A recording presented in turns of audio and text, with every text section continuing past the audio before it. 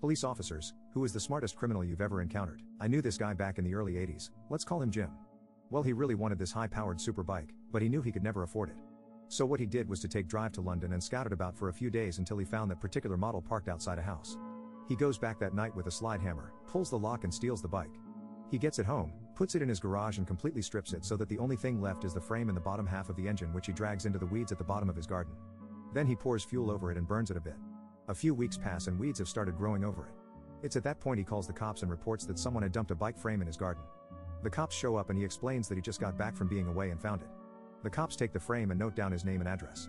A few days later, the cops call him and say that the bike had been stolen from London a month or so ago from the serial number on the bottom half of the engine and frame, and that the insurance company had classed the bike as a write off and had told the cops to dispose of it. Now, because the frame was found in his garden and the insurance company didn't want it, the cops the cops were duty bound to ask him if he wanted to keep it or if they should throw it. So he tells them that he'd always wanted to build a